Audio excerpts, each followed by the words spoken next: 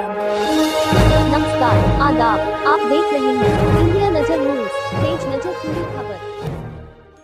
बुलंदशहर की सियाना कोतवाली के पास कस्बे में कन्या पाठशाला स्कूल की छत पर पड़ा मिला 25 वर्षीय युवक का शव सूचना मिलते ही मौके पर पहुँचे पुलिस।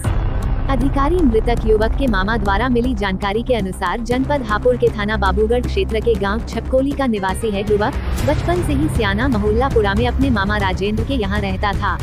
मृत अवस्था में कस्बे के ही कन्या पाठशाला स्कूल की छत पर पड़ा मिला युवक का शव। वहीं मृतक युवक ईश्वर 25 वर्षीय पुत्र गंगा शरण के मामा राजेंद्र और रंजीत का कहना है, काफ़ी समय से सभी नशे का आदि था युवक आए दिन तरह तरह के नशे करता था, नशा करने से रोकने और डांटने पर मारपीट के लिए आमदा हो जाता था, घर में तोड़फोड़ भी कर देता था। घर से लड़कर कई दिन से गायब था, इसकी शिकायत भी मृतक युवक के मामा ने स्थानीय महिला चौकी पर की थी। फ़िलहाल पुलिस ने पंचनामा भर पोस्टमार्टम के लिए भेज दिया है। उसके बाद ही पता चल सकेगा युवक की मौत का कारण क्या रहा। फ़िलहाल परिजनों का रो रो कर बुरा हाल।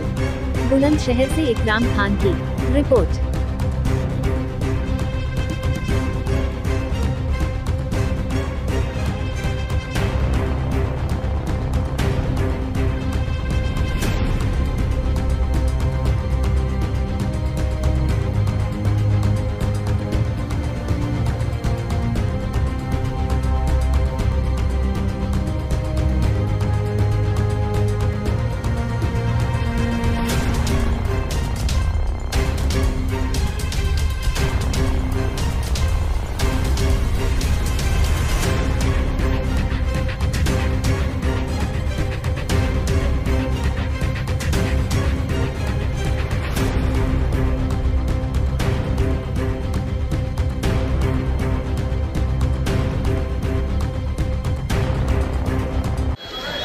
मतलब क्या नाम है आपका?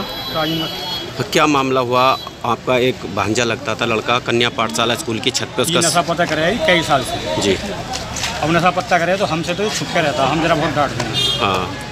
कल भी इसने बोर्ड वोर्ड फोड़ा है हम्म, बिजली बिजली पकड़ने के चक्कर में तो वहाँ से इधर रखाते रहे लेकिन ने घर से बाहर छुप के जाके ऐसा काम कर दिया अच्छा। हाँ। इधर को देखिए क्या नाम है आपका? मेरा रंजित मास्टर जी हाँ क्या मामला हुआ? अभी एक सब यहाँ पड़ा मिला है। और क्या लगता था ये ये सब तरह का तो नशा करता था। हाँ, और भाँग बीड़ी मतलब हर तरह का नशा करता था। आज सुबह ही घर से ना धो कर निकला हम्म। और इसके बाद में यहाँ है ही। अच्छा।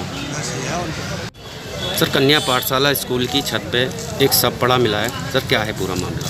देखिए एक व्यक्ति है गंगा पुत्र है ईश्वर है नाम इनका और पुत्र है गंगा शरण ये छकरौली हापुड़ के रहने वाले हैं। अपने मामा के घर ये रहते थे बचपन से ही यहीं पैदाइश हुई थी। और आज इनका शव मिला है इस प्राइमरी स्कूल की छत पर। इनके मामा द्वारा बताया गया कि ये नशा करता था नशे का आदि था। अब पीएम के पश्चात ही पता चलेगा कि किस तरह से इनकी मृत्यु हुई है। देखने में लग रहा है या तो नशे करके या किसी अन्य वजह से इनकी केमिकल मतलब कि या तो पॉइजन किया या नशे कारण सर कितने समय से यहाँ पर लगभग रह रहा था ये?